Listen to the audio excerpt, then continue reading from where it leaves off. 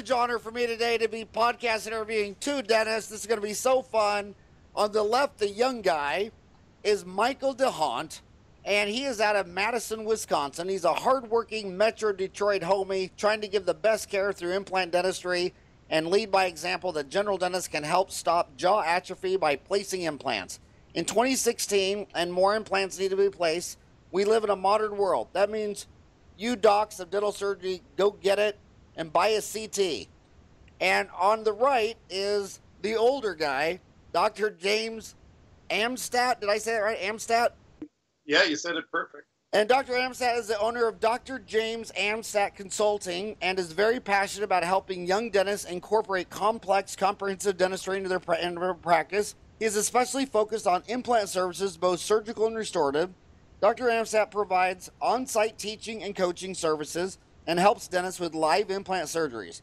In addition, he is available on a monthly basis to treatment plan and troubleshoot cases, as well as take calls on an emergency or urgent basis. In addition to his teaching services, he has worked with many dentists to organize, present, and market implant and complex dentistry to patients and help dentists build that side of their practice. He has a tremendous background, but he has uniquely started and built a general dentist practice which had 23 employees and three doctors by the year 2000, which he sold, and then started an implant practice in 2001. He started with zero patients in 2001 and grew that practice to a $1.5 million practice working 120 days a year, and sold that practice in 2015. In the interest of full disclosure, he is a key opinion leader for Implants Direct. Um, let me start with you, James. Um, yeah. Last last May, uh, 6,000 dentists graduate, and they all say the same thing. We didn't learn anything about implants. I graduated dental school, $350,000 in debt, didn't place one implant. How do you take a kid with that mindset, he says, I just graduated from the best dental school in the world and didn't place one implant to getting to where they can place an implant. How do you go from zero to one? That's a hundred times harder than going from one to two. Yeah, you know, I, I, mean, in the four years they got at dental school, they're just giving them that basic info to get out there and practice. But boy, implants, I, I agree with you. I don't hear much in the way of training going on in that area. Um, I do see guys doing residencies and getting some experience, but if you were, um, I mean, you got to take the baby steps. So somewhere, somehow, you got to get some education about the basics of implant dentistry and get started. It's a it's a journey. It takes a while. You're not going to get it done all in one one time. Well, walk us through that journey. So you you practice in Madison, Wisconsin. That's where you met Mike, who uh, practices in Madison, Wisconsin. Um, right. What did you did you help Mike on that journey to go from zero to one? Well, he he already had some training, um, and he hasn't yet benefited. You know, a lot of times what I'll do is I'll I've got uh, I'll go into an office and I'll do a one to two day seminar in office with the doctor, uh, just one on one education and training to give them the basics, and then uh, and then we we try to schedule some implants right away. And I'll sit there chairside and help them with their first, you know, uh, usually they can do about three of them in the morning, and um, that'll get them started. And eventually, you know, people move on and they start taking more advanced courses, and um, I'm always there to help them coach, uh, coach them through their surgeries. So you, you know, um, you got to get a few under the belt so you get excited about it and get over the hump. So, Mike, are you over the hump, buddy? I'm getting there. I'm cruising along. I just got a cone beam, so so I got some work to do with that. Which but, uh, one? Uh, which, which one did you get? OP 300. OP 300. Who makes that? Instrumentarium. Instrumentarium. And where where are they out of? The Instrumentarium? I don't know. Yeah. Uh, They're what? They're right out of Milwaukee, Wisconsin. Oh, they are. Duh. Yeah. Instrumentarium is headquartered in Milwaukee. Yeah, that's where they uh, where they produce the machines, I believe. Yep. Wow, I did not know that. So, how much was the OP300, and do you have any buyers or more? So, are you glad you bought it? That how big of an investment was that? Oh, for me, uh, well, you know, I, I'm not actually working in Madison anymore. I was working in Madison. I had my own shop, and uh, well, I I started my own to place implants, I had to start my own business just on the side, and the company I was working for fired me. So I ended up working for a, a group now. So I don't worry about that at all. I just get an awesome percent of collection. So You have to go back and explain what you just said again. In order to get it started, you so so in order to start placing implants, you became an employee dentist somewhere else. no, no. To, uh, so I was employed right out of uh, right out of residency in Madison. I uh, I was working for a group, and I said, "Hey, I want to start placing implants," and they said, "Well, that's cool." And uh, so I was like, "Okay, well, what are my options? You know, if I can't do it in this building, what am I going to do?" So I bought the kit. I created a website. I did SEO by myself, and then you know did a couple implant cases by myself um, with a sub out of a subletted office. And uh, once I got that going, the, my employer, uh, you know, they didn't like that, so they fired me, and I ended up uh, moving to La Crosse, Wisconsin, and taking over a business here. And, and the employer I have now is awesome. So And are you using surgical guides? I will be. So how, how many have you placed uh, so far? I've placed about uh, 18 implants so far, and I started last year in February. And I, I love having uh, all kinds of different guests. And you're, uh, um, how would you help a young dentist? Uh, how old are you? You're, you're 28? Yeah, 29 now. Yep. Okay, what what if, what if uh, some 25 year old was listening and say, okay, I want I, I'm at zero. How, how would you baby step them to get from zero to 18? Uh, well, I mean, the number one thing I saw is you know take take a course, and then you know the other thing is is the manufacturers. If you get a good rep, they can help you. They can help you a ton. A lot of you know a lot of people say, oh, well, you can get it online for this price, whatever. Who cares? Like you need someone there with you. And uh, for me, it was the rep Jason, and uh, and then you know he led me to Dr. Jim. So if if you get connected, you know What's Get Jason's last name? Brasky. Brasky? Yep, Is he Polish or Polish or Russian? I think he's a Polish boy. Brasky. B R A S E K Y? B R A T Z K E. B R A T Z K E. You know, that's Mhm. just a lesson we hear over and over. We've done 600 podcasts, and everybody always says the same thing that having a human rep in their backyard is a difference. I mean, Tarun Agarwal uh, says it all the time. He says, you know, he, he can't stand when people are talking about the brands. He goes, for him, it, it was the rep. I mean, I just hear that all the time that, you know, this is something you're not looking to buy out of a catalog or online. You're looking for a human that can help you get her done. And it seems like everybody that has a relationship with a human in their city gets her done. And the next thing you know, they're placing implants. And everybody that uh, saves money and has no relationship, they just never get it done. I, I'd, I'd agree with that. And the other thing is, is when you get that human person, they got friends. You, you- their Rolodex is open to you. That's how I got a hold of this master. I call him the implant wizard. Are you a wizard, James? Uh, I, uh, I think I'll pass on that, but I think I- Here's, I like- here's your three choices. You- you- The word in dentistry. So you got to be the tooth fairy, a wizard, or a unicorn. Which one are you going to pick? I'm gonna be. I'll, I'll do the wizard. and this Jason Bratzke, what what implant company did he work for? Implant direct. Implant he's in- Direct. Yep. So Implant Direct, that's an interesting business model because they started with uh, Jerry Niznick, one of the most probably one of the top three geniuses in implant dentistry. I mean, I got to think of Branemark, Misch, and Jerry Niznick. Um, that started to be an online model, but then it seems like they rolled out a hybrid where you buy them online, but they have humans in the field. How, how did that business model? Was that because they realized that it just wasn't something you can buy on a website that you really needed a human touch? Yeah, I think they they decided they needed to have more reps out in the field. Yeah, absolutely. Yeah, especially for the early days, right? Yes. Yep. They didn't have. I mean, I started buying from them when they, when Jerry first started making those implants, and uh, they were there was really no support at all other than online, which was fine for me because I had a lot of experience already. But I think for somebody like Mike starting out, that's a that's a tough that's a tough model. And this is we're now into 2017 and 2015 was the first year in America that the the general dentist placed more than uh, the specialists, oral surgeons, and periodontists. That's quite a paradigm shift from when Branemark came over here in the 70s and he would only sell them and educate oral surgeons. And then it took years just to get the periodontists at the table. And now the general dentist uh, uh, taking over uh, the, the 50 yard line. What, what, what do you think of that journey, James? Uh, I think it's long overdue. And I think Jerry really kind of pushed that envelope because that that's how he got started. You know, he was willing to talk with the general dentist, whereas Branemark was not.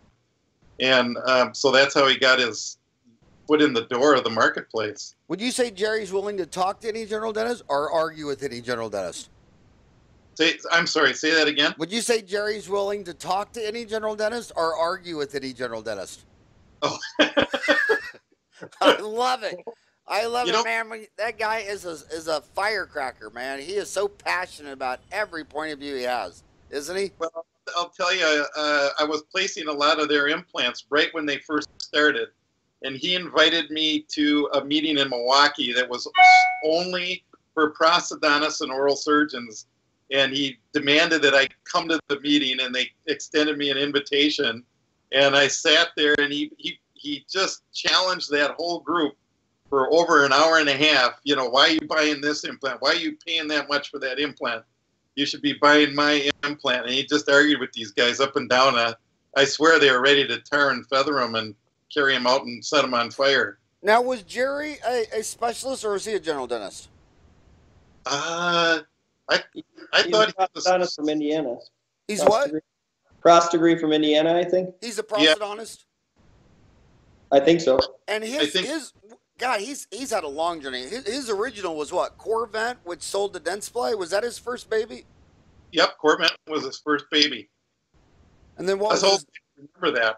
what's that? Us old guys remember that. There was only two implants, Branemark and Core-Vent. Yeah, I mean, what amazing. And uh, and then did he have another one before Implants Direct, or did it was just Core-Vent to Implants Direct? Uh, it went from Core-Vent to then he, you know, he sold to Zimmer, and then he had an I think a non-compete, and then he ended up uh, starting Implant Direct. Oh, There's he a- sold I- to Zimmer. I thought he sold it to Dentsply. Oh, uh, There was uh, another. There was another company like Paragon or Paragon or something. Yeah, he had a middle one that he sold to Zimmer, right? right. Yes, right. So it was Paragon, I I think that was what it was called. Paragon Yeah. to Zimmer, yes, and now it's Implant Directs, which he sold to uh, Danaher. Right. And rumor ha- rumor has it he's got a, a new company up his sleeve in uh, dentistry, but you you know what that's on about? Oh, I, I, I really don't know that one. Well, No. you got it. Well, email me Howard at Dentaltown, CC Jerry, because last time I emailed him, he said he wants to come on the show and talk about something new he's got going on, but he didn't tell me what it was. Oh, interesting. So, Ah. so, um, Mike, so you say find a rep. That's the most important. Find the rep. I mean, the uh, uh, get a relationship locally, and then and uh, talk talk more about that. Where did- where did you first? Where did Jason Bratzke of Implants Direct? Where did he send you to training? Uh, I went to the first Implant Direct course in Vegas, and it was it was so helpful because it's like a lot of these courses they talk about their systems and their an- like what's you know better or why they're better, but theirs is all about implementation. It's like how do you get it into your office? And that's that facility they have in Vegas. Yep. Des- describe that facility. Uh, it was top notch. We had uh, live patient surgery through video, um, nice accommodations, uh, pretty small group, probably about 20 people or so. Just a really good experience. You know, a lot of discussion rather than, uh, you know, just a, you know, let's get through these slides and stuff like that. It, it, it was just, it was a good experience. So how many how many operatories do they have? They have one film video operatory and then a classroom. Uh, I took the first implant direct course, so I didn't. I didn't. I, I toured there, toured the the building. I think they have six operatories in there. Um, it's kind of cool because you get to see a little of the manufacturing end. Um, two classrooms, I believe, and uh, you know it's uh, you know it, it was a nice facility. I liked it. And I think what's so cool about Implants Direct is uh, if a local group of dentists want to have a meeting in Vegas, they, they, they rent that out to dentists all the time. Yes. yeah. So if you're thinking about uh, your uh, study club going to Vegas, because you can't, you can just study more when there's a blackjack table up the street. I don't know what it is, but it just happens that way. So, so you went to that course. That was a two day course, and then you came back and placed one. Uh, then I bought a bunch of pig jaws, and I uh, learned you got to defrost them before you ruin a pilot burr. Uh, I practiced a bunch of time on pig jaw, and then I had my uh, uncle come up and I placed my first one.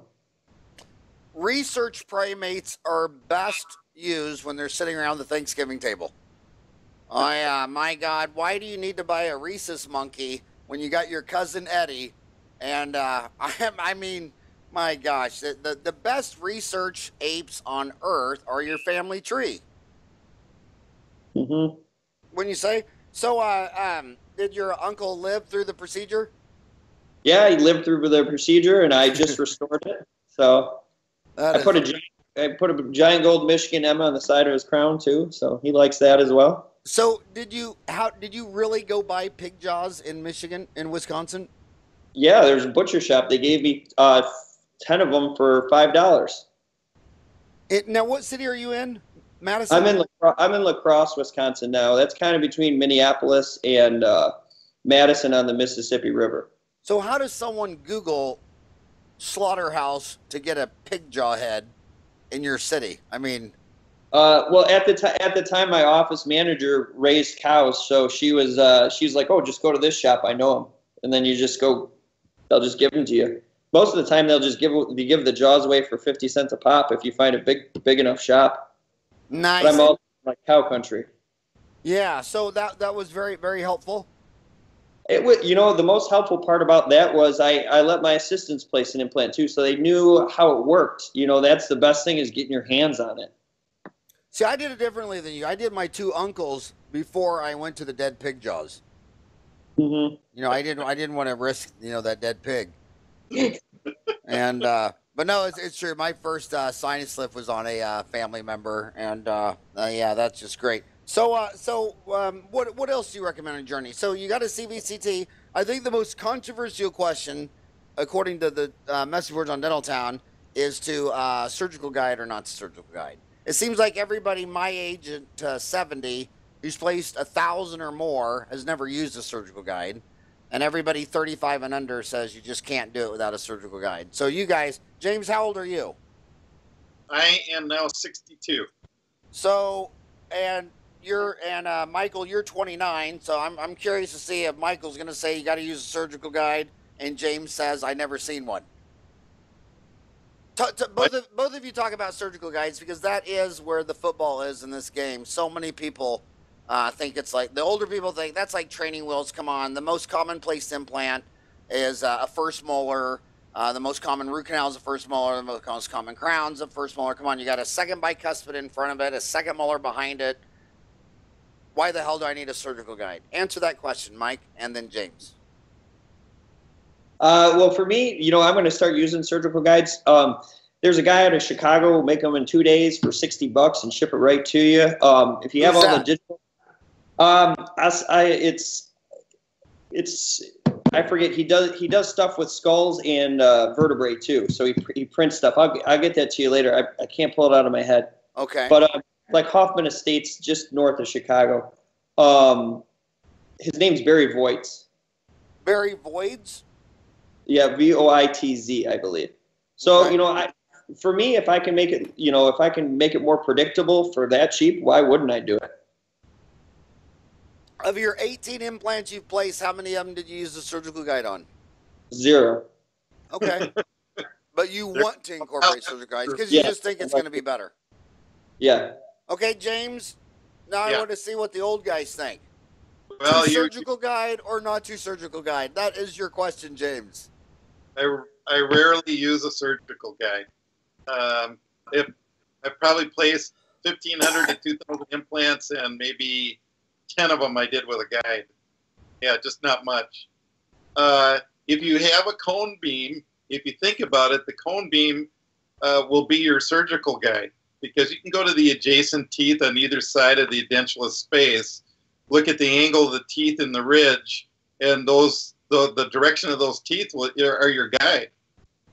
Um, so you know you, you pretty much know where you're headed. But um, I'm a big proponent, like Mike is, of using cone beam. I, I, I just don't do any implants without a cone beam.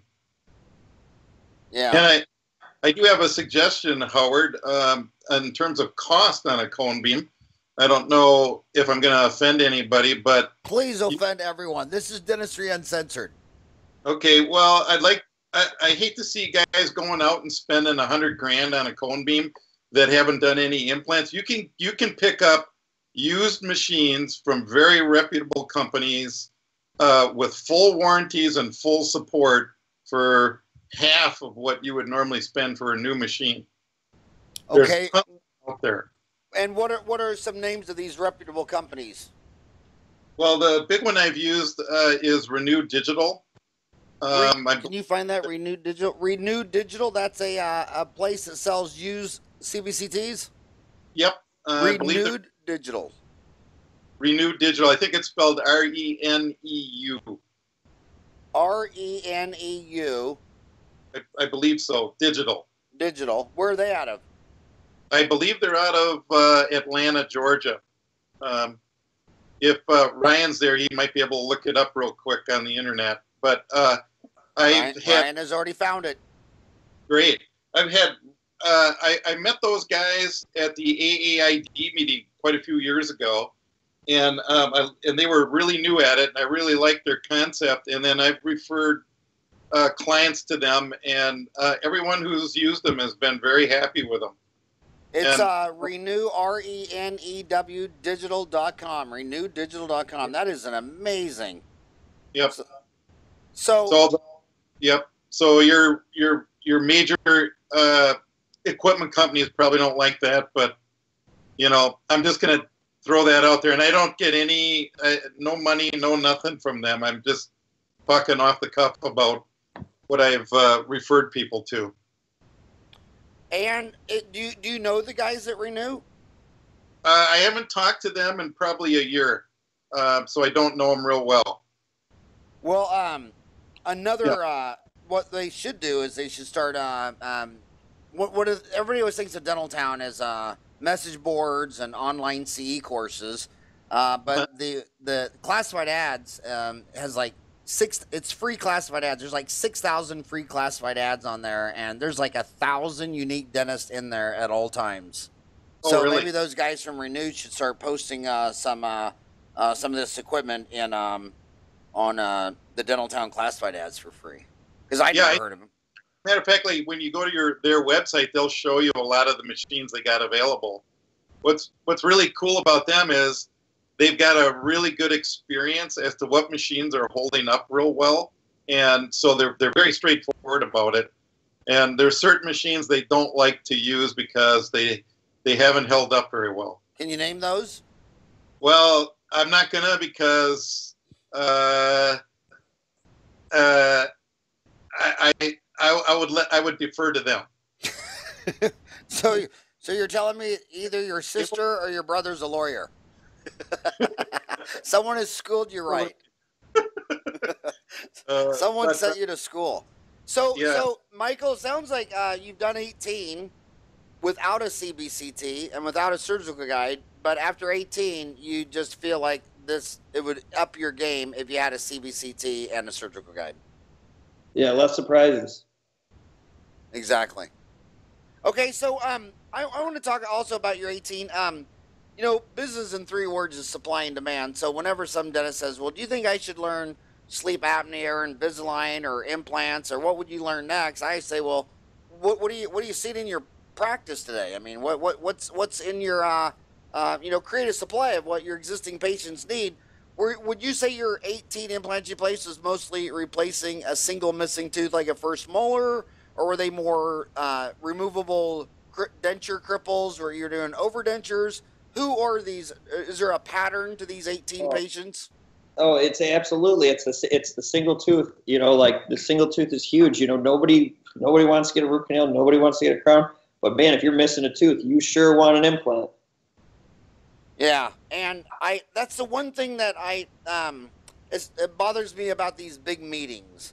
You know, uh, the the big dental meetings. It's like 96% of crowns are done one at a time, yet all the major meetings, all their courses on crown and bridge are full mouth rehab. And, you know, almost all implants are placed one at a time to replace a single missing tooth. And then you go to the CDA and all the implant classes are all on four or some some heroic thing. It's like, you know, the, the market is root canals are done one molar at a time. Crowns are done one crown at a time. Implants one at a time. Um, and James, you should uh, make an online C course out on Dental Town. We put up 350 courses. They've been viewed three quarters of a million times. Wow.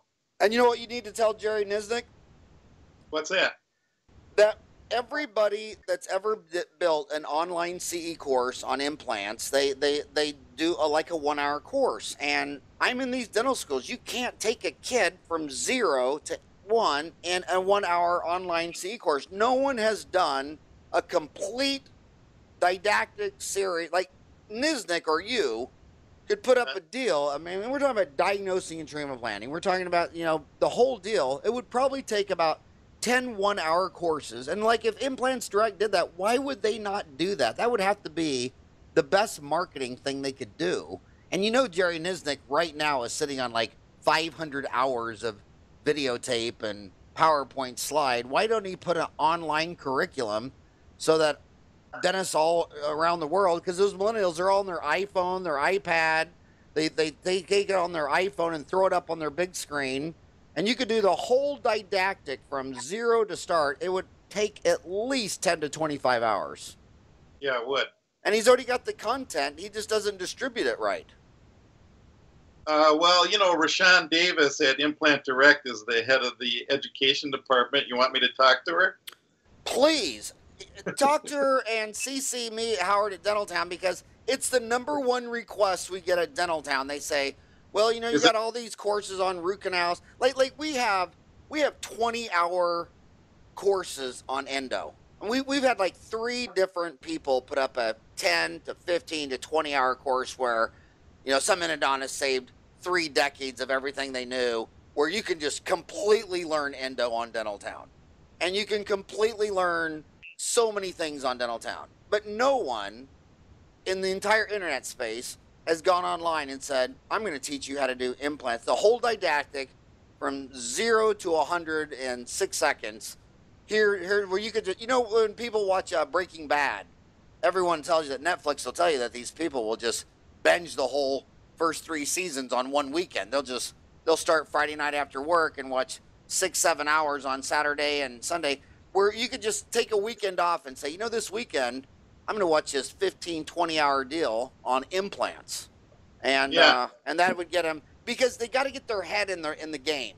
And once their head's in the game, where they're watching this at home on their big screen, they're like, okay, I got this. Old guys like us, we always have to go to a convention. It comes once a year. We have to go register and wear a badge. The millennials want to sit home on their big screen, their iPad, their iPhone, and no one's delivered the whole kit and caboodle to them to date. And it's 2017.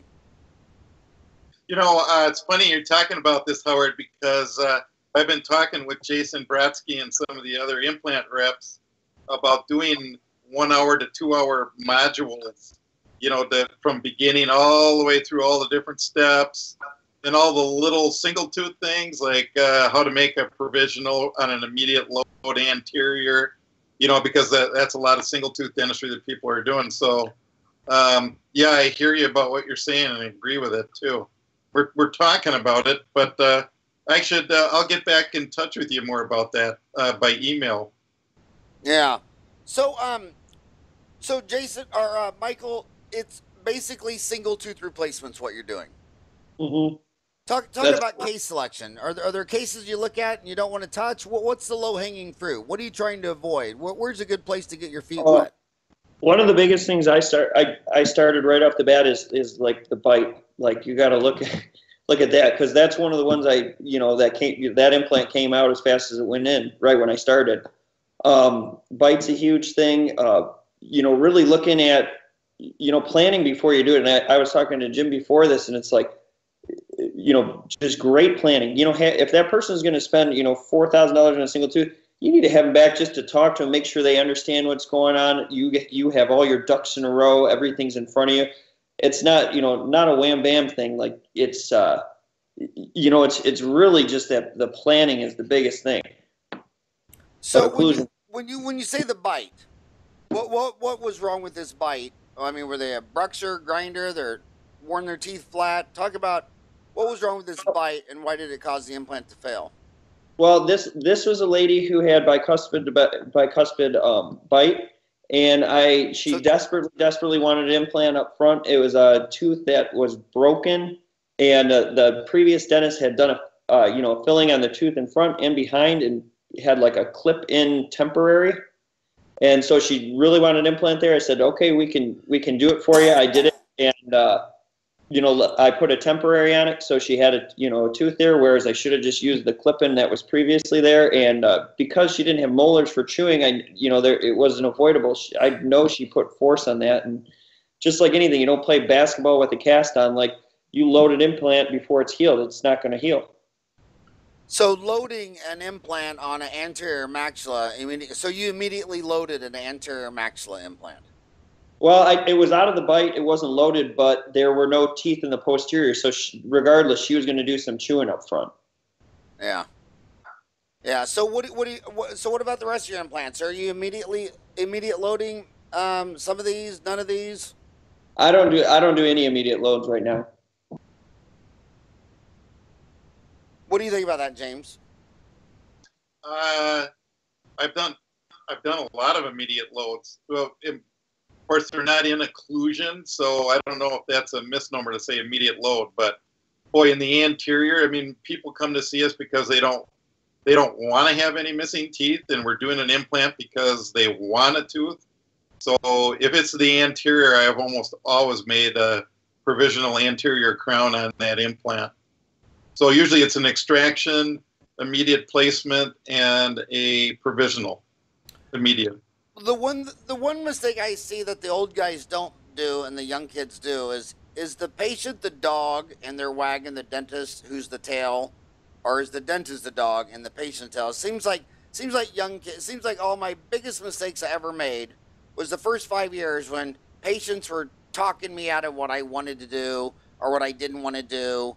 But you know, I was uh, you know 25 and some 60 year old guys, you know, talking me into something that I, I just knew I shouldn't be doing this, but I did it anyway.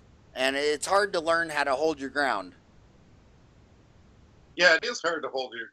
Well, you know, of course, as you know, it's kind of a matter of experience, and you kind of get to the point where you've been through enough failures that you're you're you don't want to have them.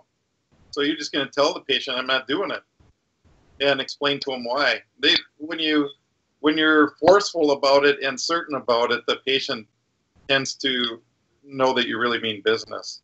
Yeah, and see, and your failures weren't failures because if a failure is a lesson and a lesson is learned, then it never was a failure. It's just, it's just right. the school of hard knocks. And uh, yeah, it, yep. and, and you know, I learned something in brain of physiology or some book I was reading. It's talking about that. And you know, human sapien is a two million year old species. You know, a hundred million of them have come and gone. And so the way it works and is evolved is that, you know, if you glance over and you see a cheetah, you don't have time to sit there and think, oh, well, you know, that looks like maybe it feeds on animals and it's got pointed teeth. And so your brain rips through all the data in like a hundredth of a second and you skedaddle up a tree. And that's what intuition is. And I, I, think young kids don't realize that the way their brain works is when something happens, like like a fight or flight, your brain rips right through that. Your intuition is, oh, don't do that. And then they're either so dumb they start arguing with their own intuition. You know, they start talking back to their gut feeling, or the patient starts talking about their gut feeling. And your human brain is, when you hear something, you just say, that's a really bad idea. Quit thinking about it. It's a bad idea. Just, it's, right. discussion's done. And the more you, you argue with your intuition, the more you debate your gut or keep the conversation with the patient. It's all going south. Your yep. body knew that you should run right now up a tree in a hundredth of a second. And right. you knew the minute you looked at that that I should send this to an endodontist, or I'm not placing the I'm not placing this implant, or that this kid is gonna this kid is never gonna let me do a pulpotomy on him. I mean, your your brain told you in a split second that an hour later you're wondering why the shit did I start this root canal? Why am I trying to do a pulpotomy with this kid? I mean, I just instantly knew this was going to be trouble. And then you start arguing with your own. Uh, I call it the birdie on the shoulder. You don't argue with the birdie. Yeah. The bird, the birdie tells you instantly, run. Yeah, and now, boy. and now you're talking to the birdie. Yeah, I've been there, done that. Nah. Your story really relates to me. And well, that's the difference between an old guy and a young guy. The, the young guys are always arguing with the birdie. The, the birdie's always right. He tells you in one second, it's over. Conversation dead. Next. Yeah. So, so Mike, what? So you said. So what other? Describe this. She's 25. She's commuting to work. She's she's already done. She's been checking eight. Uh, she's been checking and calling a hygiene for a, a year, four or five days a week. What is the lowest hanging fruit to place your first implant? What is just, what is the training wheel case that you know she's seen? She's got it. She's got a patient for this. What would be the easiest? Because sometimes they'll make a mistake and do like number eight on a beautiful woman with a high lip line and say, well, it's right up front. It's that's got to be the easiest surgery in the world. It's right there in front of you. Oh, it's it's a it's a lower molar where you can uh, where you have just just a ton of uh, ridge to work with, and then when you look at the PA, you got you know like 10, 12 millimeters between the two roots. A lot of real estate to work with. A lot of real. So look, so you like lower molars because the bone is the most dense in the mandible, more dense in the mandible than the maxilla. So you like a, uh, so you'd say posterior over anterior, and you'd say mandible over maxilla. Yeah, I would. And James, we've we've seen a lot of evolutions of these root canals. Seems like uh, root canals when you and I were little, um, you wanted the longest implant in the world, preferably to go out the back of the head, wrap around Mars three times, and come back. Now it seems like the implants are just trending shorter and fatter, shorter and fatter, shorter and fatter.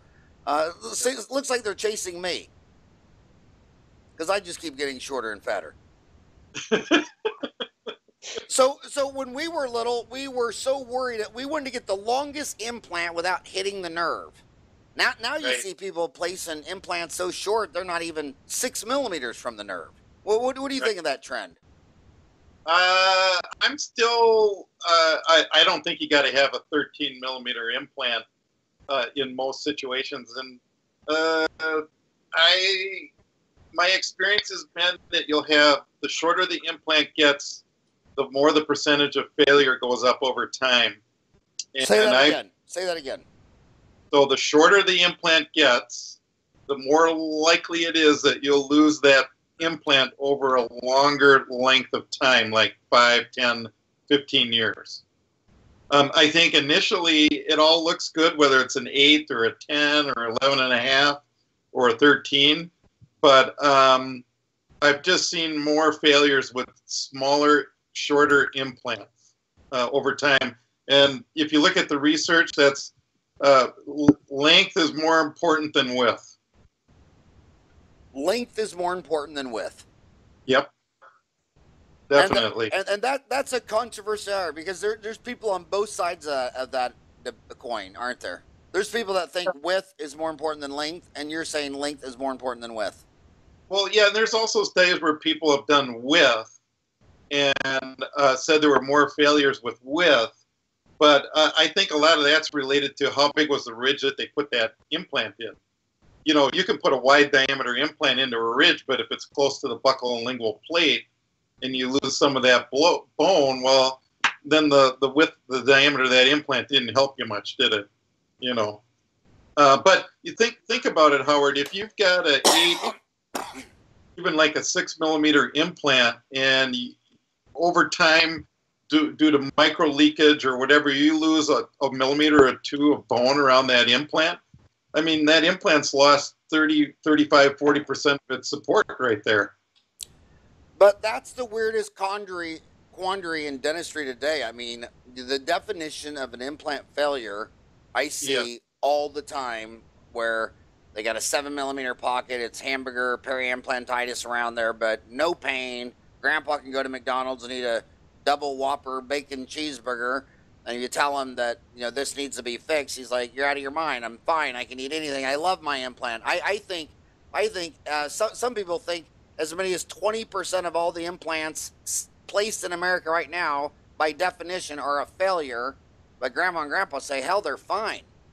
Yeah, I've, I've heard that number too, Howard. And there's a difference between what I call a complete failure, where the implant comes out, and these other ones that are muddling along for 5, 10, 15, 20 years, and you look at them and you'd probably be embarrassed to have put them in there, but they're working.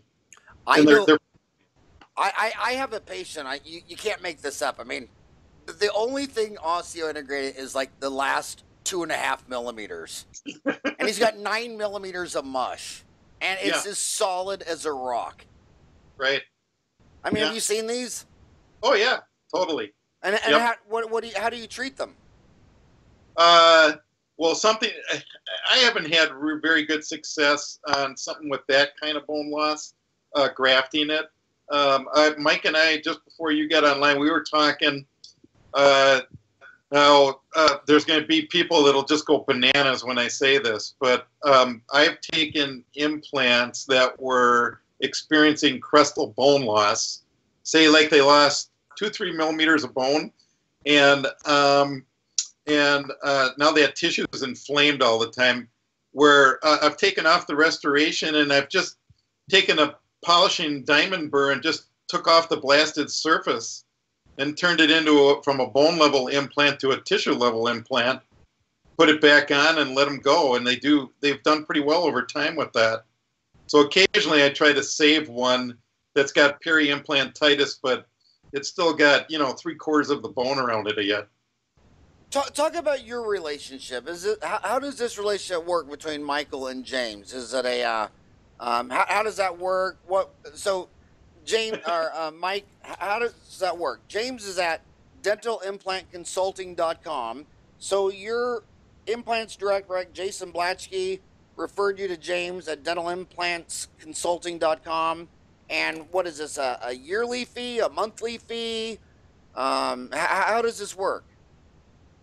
Well, initially when we met up, he was he was helping me. I was going to, you know, look to go out on my own and get a loan for everything, but that disappeared when I had no income after I got fired. But uh, so so the way we worked together was kind of as needed. Like we had a we had a monthly coaching fee that i paid. And then you know as i was going through and setting up a business plan and everything uh, you know it was taken as it comes so really as needed pretty much. So james if one of my homies listening right now wants to go to dentalimplantsconsulting.com for your james amstadt consulting how, how does this work um, well, uh, I, I think like what happened with uh, it depends on the situation. So some people are interested in education, and so uh, I will come and do basically a one or a two day in office, get you started doing implants seminar. Just you and me, or if you want, you can get a couple of your colleagues together or your study club. And so it's all about how to implement those uh, that implant dentistry now immediately so you can start doing some of those simple ones. And then um, and there's usually uh, the fee for that is about $2800 a day and uh, 1500 for a half day. And then um, uh, if they want to be coached on immediate placement or they want to do a sinus graft or they got a procedure they want to learn how to do, or maybe they went to a course and they want somebody to hold their hand, I'll come in and do that. Um, now, like in, so I'm doing that. And then I have like a monthly coaching thing, and that is where uh, they need help with treatment planning. They'll send me x rays, we'll look at cases together. Um, or uh, they just need help in the middle of their procedure. They got in trouble. They can quick call me and I'll walk them through it. Um, so that that's kind of the educational aspect. Then I have people like Michael who wanted to start an implant practice, and then I was giving him advice on how to organize it, market it, what equipment to buy, um, how to set it up, case presentation, you know, and it's all uh, it's basically a la carte. uh, Howard. And, and Miss- there's uh, people listening to you right now of all ages, uh, in dental school, around the world, different ages. What what, is your bread and butter client? Are they usually uh, young kids like Mike? Are they rural, urban, or any of them older? What, what what's your what's your average uh, clientele? Yeah, you know, I thought it was going to be the younger doctors, but it's really not. It's it's the middle aged and older. I mean, a lot. I have a lot of clients in their 60s and early 70s even that want to, you know, they just want to get into implants. They want to be excited about something again. Um, and uh, so a lot of my clients are are quite older. I'm surprised. And what? Why are you surprised? Um, I I thought that a lot of guys might be just sitting back and coasting at that age, but we got a lot of members of our profession that are still excited about dentistry and want to just keep going forever as long as they can. Do you think there's a hardwired mindset to this? It seems like when I talk to dentists, they come in two types. They're the Yes. blood and guts. They love root canals, extractions, implants. They can't get enough blood. And then Yeah. there's the I should have been electrical engineer, but I accidentally became a dentist, and I hate blood and guts. I had no idea that humans were filled with blood, and I just like pretty stuff. I like TMJ and sleep apnea and AACD and Invisalign. Do you see that? Do you, do you see that split? Yeah, I do. I I, I don't know what it is, but uh, some people just love doing surgery. Yeah, they're Yeah. called bloody barbarians. Mike, I- I would you don't- call would you call yourself a bloody barbarian? Yeah. You know, I, I've made a transition on that, Howard. I used to be like in the I don't want to do extractions. I don't. I want to do all the pretty stuff. And uh, geez, you know, I started doing some implant surgery, got back into doing extractions, and I, I loved it. I, it just changed. Yeah, I mean, I don't even think it's fun until I go wash up afterwards and there I see red spots of blood on my bald head. I mean, when I see three or four spots of blood on my head, I know I just had fun. I mean, I, I can't think of anything more boring than sitting down on a patient doing four MOD composites. But four Yep. wisdom teeth, uh, I do them for free. Oh God, I, I get so bored doing restorations nowadays. I just I couldn't stand it. When I was in practice in the Madison area there, if I did one or two fillings a week, that was more than I wanted to do. It was all implant work. Well, Mike, one of the things with the kids is that um, they don't know how um, much they're going to get in over their head. What would be a comparable surgical procedure? Like, like sometimes I'll see them pulling wisdom teeth, and they'll and I'll say, well, if you can pull a wisdom teeth, you can place an implant in a first molar. But then they'll think, well, no, this was an easy wisdom tooth, or it wasn't a full bone here. What what what skill set describe skills that she's already doing now that if you can do that if you're into blood and guts and you can place an implant replacing a lower first molar if you if you can section a tooth and if you can lay a flap, you can sure drill a hole straight. Um, you can do an implant. You know, it's it's people think you know. Another thing is, well, you know, you see people. Oh, you started placing. Well, what about the what about the IAN nerve? Am I going to hit it? Well, how many times when you're doing a filling, do you just ram that burr into the nerve? Never. You're not going to do that with a bigger burr. You're hopefully not. But um, you know, like it, really, if you can surgically extract a tooth, you can do an implant. You're never putting an implant where a tooth wasn't. are you a wolverine Oh yeah. why didn't you do your first implant on a wolverine instead of a pig jaw Um, I don't know. wouldn't a true wolverine place his first implant in a wolverine not a pig Well, I got to find a Wolverine now in Wisconsin territory. So So yeah, I, I, I agree. So so that, that was well said. Because when you say extract a wisdom tooth, there's all different kinds of wisdom tooth, but it's basically can you lay a flap and section a tooth and place a composite without drilling straight into the nerve? yep. Well said. Well said. And and and then um, I also want to um, play devil's advocate to you, James. And Yeah. uh, um, I, I I have a lot of lawyer friends, and sometimes they send me this uh, HIPAA violation, uh, malpractice settlements and claims, you know, gossip, you know. And sometimes I'll see a case where it was a maxillary implant into the sinus, bone graft, bone lift, and it, it all went south.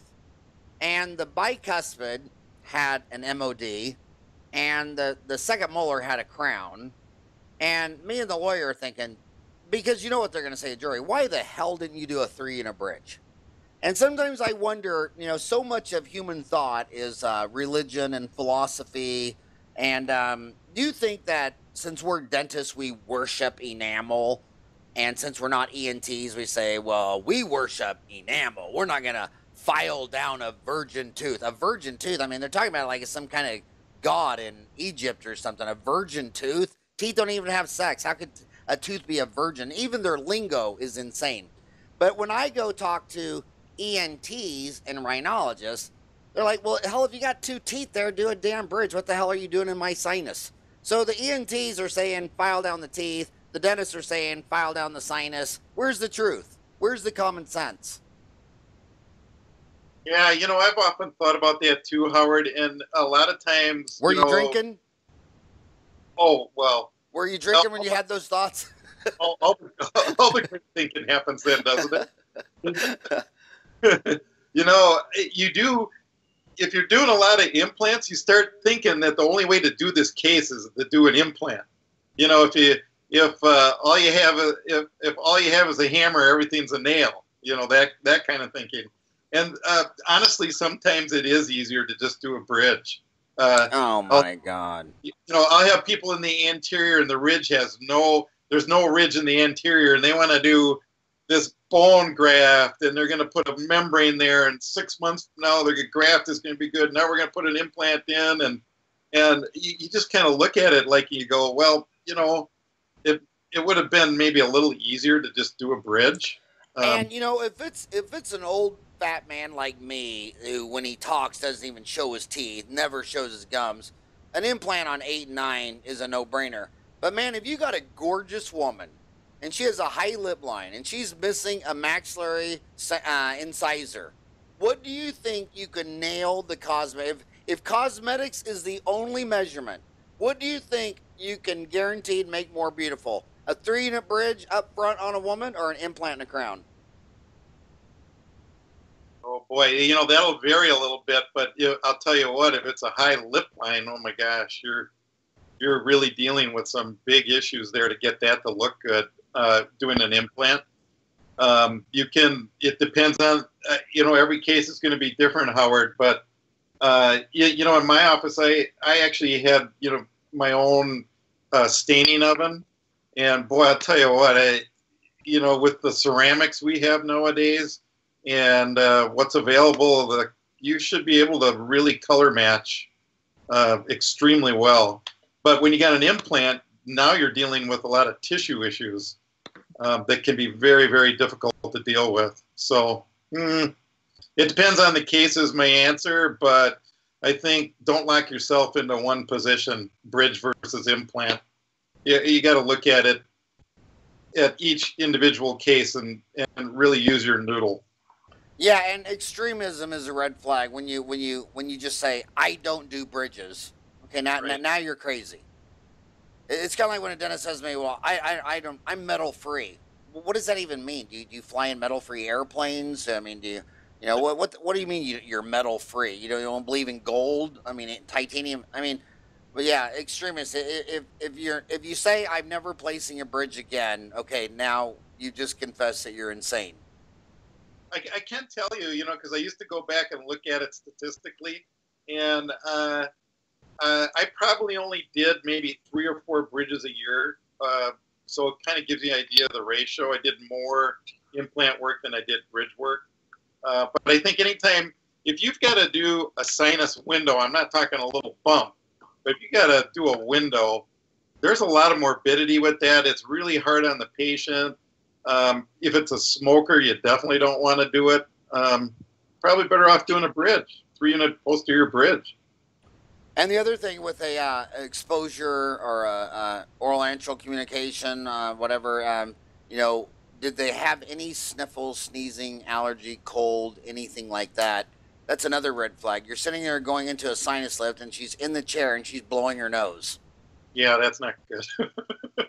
You know what Well, I mean? I mean, I mean, it's one thing to do a sinus lift or pull a maxillary first molar because so most of the sinus uh, perforations during an extraction, almost all of them are never diagnosed. So Right. when you say you've never had a sinus exposure, just you're, you're just never been aware of one. But when you're sitting there about to sit down and pull a maxillary first molar or um, do a sinus lift, and you can see nasal something's going on in her sinuses right now. That that that's the first time your birdie says what? Yeah, and uh, uh, well, if you want, I could send you several X-rays at least showing implants that are laying in somebody's sinus. Uh, ask me how they got there. And you know what? You I wish you would do an online CE course. Well, uh, I'd be happy to do one for you. We, we, we would love it. Um, the, the most requested are Yes. always on implants and endo. And my gosh, we've got so many on endo. I mean, we've got so many good 10, 15, 12 hour course. But implants, it just everybody always submits like an hour. It's like this. We we don't have a continuum, which I think Implants Direct could deliver. And Yeah. uh, and you could you, you could probably I mean, how many PowerPoint slides do you have right now? Oh my gosh, I mean hundreds and hundreds. I know, and they would be what they would be what they'd be taking this course in 152 countries, and I guarantee you, I could name at least five of those countries you couldn't find on a map. Okay, name Yeah. five. Well, yeah, I mean, Ryan's always telling me he's always saying, "Oh, we got a new country," and he'll say, and I'll say, "Well, where the hell's that?" And he goes, "Well, it's an island nation on you know south of India or." Uh, out there, there are always little island countries, and by Indonesia, and I mean, there's just there's all kinds of countries. So how do I get started doing an online course? Well, I'm uh, so Dentaltown has uh, two Howards. I'm Howard at dentaltown.com, and then we hired Howard Goldstein. So he's Hogo, H O G O, at dentaltown.com. He's in charge of our online CE, and uh, and they're all we get them all ADA approved, AGD approved, and they're so popular because here's the deal: if you're Yeah. if you're a young kid, I mean, flying across the country and dropping a couple grand at a course while you're staying in the resort and flying back versus 18 bucks on your iPhone. Yeah. I mean, I I, mean, the, the, the cost of a Dental Town online CE course is less than the cab fare from the airport to the convention that you're going to. You know what I mean? And Yep. uh, they're, they're just they've gone crazy. Mike, what Well, other? Go ahead, anything. Uh, Howard, I was going to say it's really you know because I uh, I used to teach at the Meriter residency program in Madison at the hospital, and you know it's really tough because these kids are coming out of school with 250 300 350 400,000 dollars worth of debt, and then you're talking about all the money it takes to start a dental practice, and then the money it takes to get an education in implants. It's just it's tough. Well, it's tough because if you gave every American child at 16 years old a credit card with a hundred thousand dollar line of credit, they'd all run out and buy a Ford 150 pickup truck and a boat and a jet ski. And and the reason I didn't have a car the first seven years of college and split a house with five guys is because we didn't have access to all this credit. I mean, we we we were broke and no one was handing us money. I mean, I, you go to these dental schools and the, and it seems I mean, it looks like a new car lot. Yeah. I mean, you literally think you're at the Beverly Hills Auto Nation, and you're just looking at all these. Well, I wanted to get a good car. You know, I wanted to get one that would last. You know, I wanted to. You know, you can rationalize anything when it comes to money. And then, well, for spring break, we took a Caribbean cruise because I really wanted to refresh myself and really get fired up. And so, I mean, they just got access to credit. I mean, there's there's no way you can spend four hundred thousand dollars in dental school. Mike, I- what's your what what? Let's hear what Mike's got to say to that. Mike, Uh, how much money did you borrow spending on all kinds of useless things? oh, in dental school? Oh man, we even the lady who gave our loans out, we used to call them Gainer bucks. Her name was Mary Gainer, and it's just like monopoly money. It's like there's so many. You know, did I need to go to to vacation in the Bahamas? Hell no. But like I did it, you know, and it was fun. But uh, now it's just now it's just more loan payments.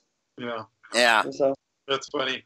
Yeah, so so th- they're that much debt because they have access to credit, and then a lot of them get married and have two kids in dental school. It's like a kid is a luxury item too. I mean, I have four boys. It was the best four decisions I ever made. I mean, I love Eric, Greg, Ryan, and Zach more than anything I've ever done, but god dang, were they expensive? They, they, they were a quarter million dollars each. I spent a million bucks getting those boys to 21. You're happy even with Ryan? Even with Ryan. oh my god, that was so great. He graduated from college and he said, "Dad, your podcast sucks. Before I get a job, can I just help you with your podcast?" And now he's been here a year later, and I, I'm just loving it. It's been the best, uh, best year of my life uh, working next door to him. But, uh, but yeah, the, so the kids got all this debt because they got access to credit. Uh, Mike, what um, what other advice would you give the young kids? Because you're closer to them. They're they're uh, here, here's a big question we have all the time on Dental Town. Um, I'm scared because I got a good job at Heartland. I'm making good money. I'm, I'm, you know, the light, everything's going good.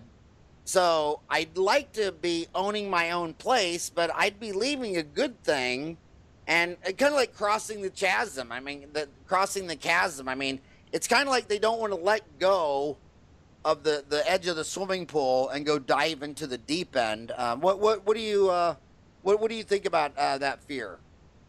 Well, I think I think the fear the fear is real. It's definitely something that a lot of people are scared of. Like, why would I leave this for this? But just like the way you approach like anything, like a treatment plan, it's like if you have a plan of attack, you plan well, and you plan with end in mind. What's stopping you from executing? So I think it's just the planning and uh, you know you know the the big hurdles. People, well, what about this and this and this? And, you know, as I was working with. Uh, Jim, it's like it, it, it became way less of a hurdle, you know, to, you know, oh, this is what you need to present to the bank. This is where, you know, what you want to get this in, you know, like the, one of the first things he asked me when I met him is, well, what do you, what do you want to be when you're in 10 years? And that's like the, the biggest question is where do you want to be? And then start figuring it out from there. So, you know, start with end in mind. That's profound advice. Start with the end in mind. Quit thinking about where you are right now, but where do you want to be in 10 years? And if you Mhm. want to be there in 10 years, then deconstruct that into a plan. Yeah, and then you know, there's another thing. It's like this this goes way back. Somebody told me in college. I think it might even be like a fraternity thing or something stupid. But it was called. It's the six P's. Prior planning prevents a piss poor performance. Just plan for it and execute. So, Prior planning prevents a piss poor performance. yep. Nice, nice. Good fraternity. Go. What fraternity was that? Uh, Psi U. Psi Psi U. Good, good for them. So, James, uh, we went over. You guys promised me an hour. We're an hour or two. Any, any uh, final thoughts? What you, what you got to give a closing close pitch on your dentalimplantsconsulting.com. Why should my homies go to Im- dentalimplantsconsulting.com? Well, uh, because I think I can get you. You know, I've just had a lot of experience, and Mike's a good example of being able to sit down. I could sit down with people, discuss what it is they want to do, and develop a plan to get there. And uh, that level of experience that I have uh, really um uh, just makes it that much quicker happen for you. Right on. Mike, any closing thoughts from you, buddy? No, not off the not off the top of my head. Thanks for having me. So is Yeah. your Mike is your website simply dental implants llc.com is that your dental office or what what, what is that website? Uh, that that was the dental office I started. I couldn't call it only dental implants. That's the business I started just so I could place implants. Um, but right now I work for a, a group called Cherry Tree, and I work for about four employers.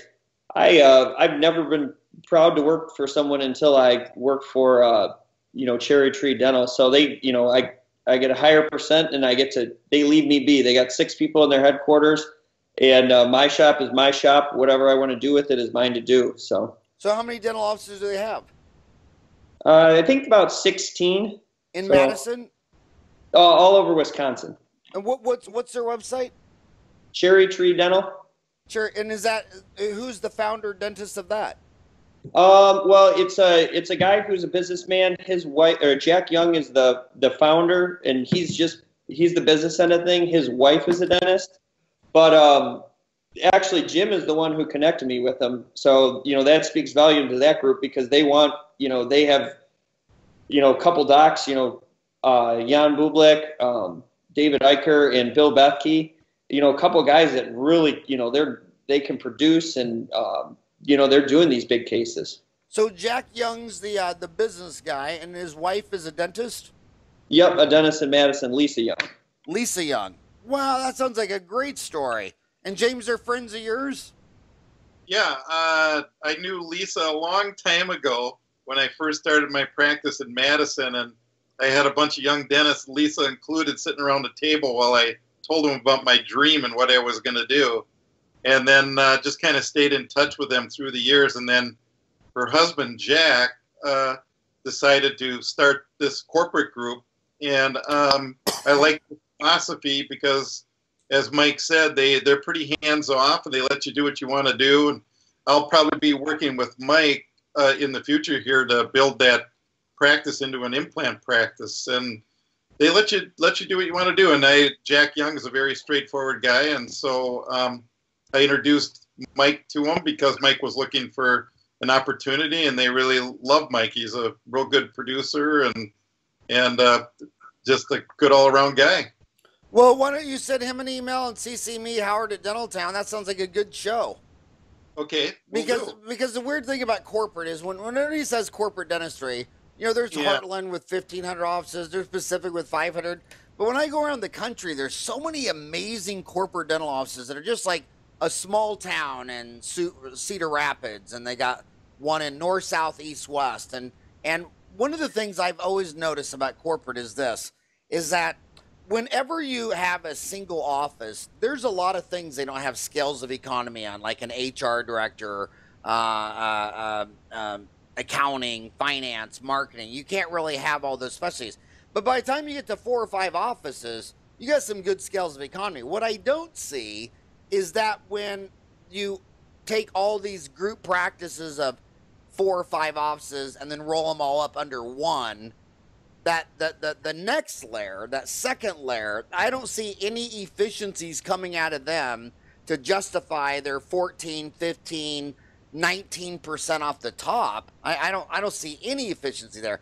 But there's a lot of people who think that, you know, if I was going to go into a town of 100,000, having one office on the north side and one on the, the south side so that I can just get a big enough just so that I can have a business director, a marketing director, a, a comptroller. There's a lot of scales of economy. So I, I would love to uh, podcast interview Jack Young because I, I see these regional corporate yeah. dental offices crushing it with a competitive advantage. But the national ones um, that have to pay for a local state management level and then another national level, I, I don't know if that's really the model. Yeah, I don't know. Uh, here's my thought on that, Howard. I agree with you. You know, uh, because I've worked with several of these groups, and um, the ones I'm thinking, finding that are most profitable are the ones that are running pretty lean and don't have a lot of that uh, staffing above the practice level that just eats away the profit.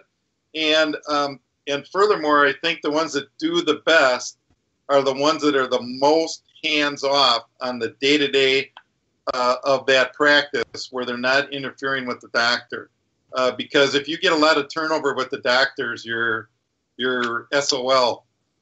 Yeah, I mean, dentistry is selling the invisible, and it's all about the doctor-patient relationship. And if every time the patient comes in, there's a different doctor, uh, then you better make sure the receptionists and the assistants and the hygienists are all been there six, eight, ten, twelve years.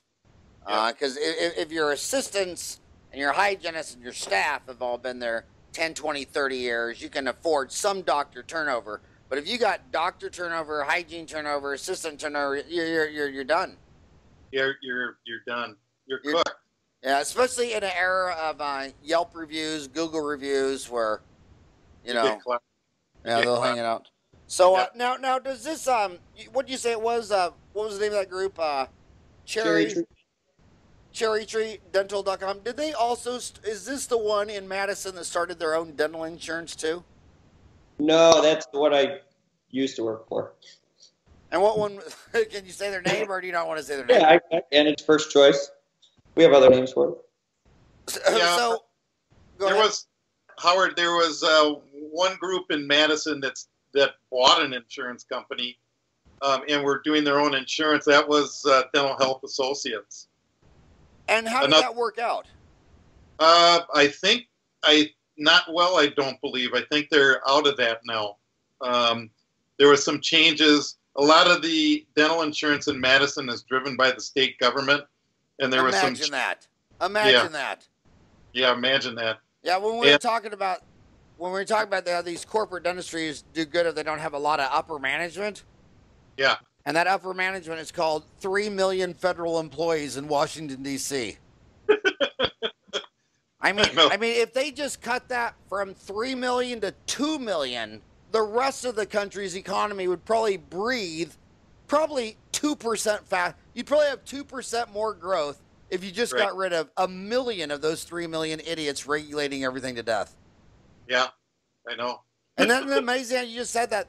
Of all, how many corporates have you seen in corporate dentistry? How many have you experienced? Three, uh, three of them in, in enough intimate de- detail to know. And, and you can already say after three that the ones who don't meddle the most at the office do the best. Yeah, and you know the other thing, uh, Howard, I was at the ADPA meeting, American Academy of Dental Practice Administration, and uh, there were a lot of guys there talking about corporate because a lot of them were retiring and selling. And you know, when you talk to people, the people that are happiest are the ones that were left alone and did the best.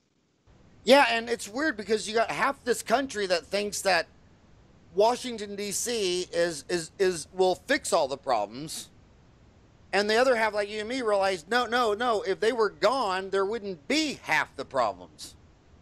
Right, you know, with a dental practice, every everyone's got its own flavor, Howard. The that's based on the practitioner and what they like to do and what their personality is, and they're all finely tuned around the practitioner. And then you start Mickey Mousing around with that and changing the systems, and it doesn't match the philosophy of the doctor. There's there's no enthusiasm for the office anymore.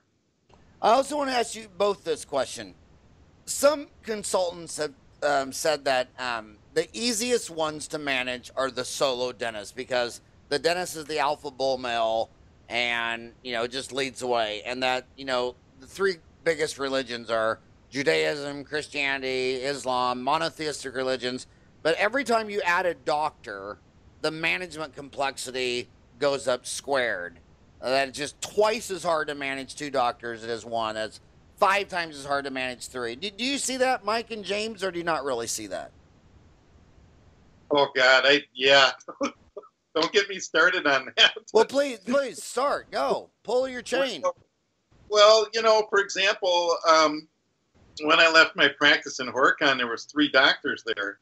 It was almost impossible to get anything done, uh, unless you have, unless all the doctors in your group are philosophically in alignment, congruent, one hundred percent. You are getting nowhere. So you're saying kill all three doctors kill all three and start over. Because because you, you can't get three dentists to agree that today is Tuesday. Yeah, it's like uh, what do they say? What's the phrase? Herding cats. Yeah, yeah.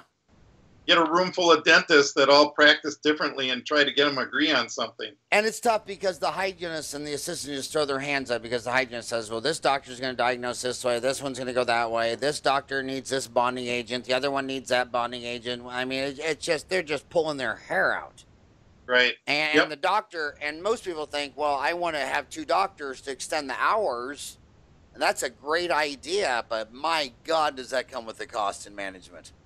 Really complicated, and um, I don't. I don't know. It doesn't. Some groups seem to make it work, but uh, I, I think it's really difficult. I've only. It seems like it only works if one of the dentists is a domineering alpha bull male, and the other two are passive and just go with the flow. They're just going to acquiesce. But Yep. if you but if you get two or three alphas in there, oh my god, it's it's Yeah. insanity. Terrible. Yep. Yeah.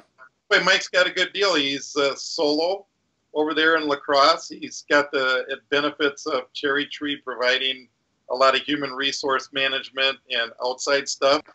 And um, I'm sure we'll be working in the future to, together to build that practice to do more complex dentistry. So are you happy, Mike? Oh, so happy. It's wonderful. I, I'm, I've, like I said, I've never been proud working for any other dental group besides Cherry Tree. Like, and it's just, it's, and it's really is they, you know, when I interviewed with them, you know, I talked to them, I said, this is my vision and goal. And they said, okay, that's great. And I think, you know, since I started working there two, three months ago, I, I maybe had, you know, five visits from the, you know, the corporate group total. And that was just for your state mandated pee in a jar test?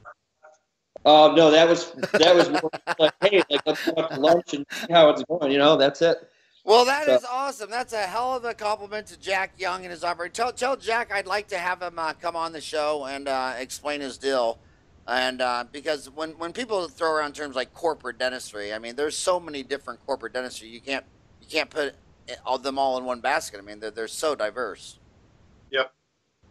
Well, you know, Howard, uh, one of the things that help uh, with Cherry Tree and Jack is his wife Lisa uh, is a very quality orientated dentist who's been at the Pankey Institute and wants to do really nice dentistry. And so she's always giving her husband feedback on what's it like to be the dentist. Well, have them both come on the show. That'd be nice. Have Jack and Lisa do that. And the other reason I, I really want to get Lisa is that about the only complaint I get on uh, this podcast is that why are all your guests males? And uh, you know, and uh, I, I tell them because half the half the dental school is women. And Yeah. I mean, I'm always harassing all the women dentists I know. You got to come on my show. You know, these women, these young girls in dental school, they don't want to think of all the leaders as short, fat, bald guys. They, they want to see women. And, Well, uh, Howard, I got some good women for you. well, deliver them. Yeah. Uh, another another good one would be uh, Dr. Joanne Martins in Waunakee. Um, and just a go-getter dentist, uh, unbelievable. And she is really into the cosmetic side, so she does ortho and six-month smiles and Botox and veneers, and um, she's she'd knock the socks off of most uh, male doctors. Her Look, look at our, look at our 350 online CE courses on Dental Town. Male, male, male, male, male, male. I was lecturing at a dental school last year in New Jersey. I won't say the name of it.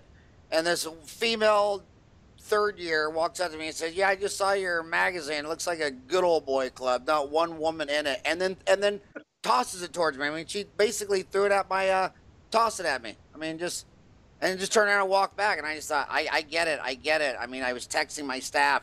We can't put out a Dental Town magazine where all the doctors are males. We can't do it. And then they come back and say, we send out five requests to a woman for every one we do for a man, and it's just, it's just, it's, it's hard. So if you got any fifty, if you got any fifty-year-old, uh, forty, all you I'll e- I'll even take them as young as forty. okay, I mean- it for you. You can't really be an expert legend at 40, can you? Or maybe maybe can, but yeah, I want more women dentists on the podcast, in the magazine, because in the dental schools, they want women role models. They don't want to they don't want to be looking at a bunch of guys like me. Well, I just want to say one thing about women dentists. You know, when I go around, I often hear people say, "Oh, you know, they're not." Sometimes I'll hear people say they're not very serious. They only work part time. Blah blah blah. I'll tell you, some of the my best clients and some of my best colleagues are women that would just knock the socks off of any man in private practice if you showed them the numbers. And this May 11 will be my 30 year graduation from University of Missouri, Kansas City, 1987. And Yeah. I remember them telling, talking in front of all the girls in my class that they're probably going to have short careers, probably going to marry dentists, have kids, probably only practice five or six years. 30 years later, those women's average practice is bigger than the average male's. Yeah. I mean, they all have million dollar practices and they're crushing it. Everything they said that they would do didn't happen. Right? I know. All right, there's your uh, there's your uh, bartender. Two two. and and uh, okay, well, you guys seriously, thank you so much for coming on the show today. Yeah, lots of fun. Hey, Michael. Yeah, definitely for sure. I'm out on your neck of the woods in Arizona um, in two months, speaking about all males for a bachelor party. So I'll holler at you. There, there's a bachelor party in in Phoenix in two months. Yep. Where, where's it at? One of the casinos or? I don't know. We got a big giant 16 person Airbnb, so it's all it's all dirty Dennis. So All right. Well, invite me. I'll. I'll. I'll. I've never turned down a dentist bachelor party. there you go. Or, or uh, if, if I get a free ticket to that, Ryan will probably steal the ticket and go for me. But uh, either Sure. way, either way, uh, thanks so much for coming on the show today. Sounds All right. good. Thanks, Howard. Thank All right. Bye bye.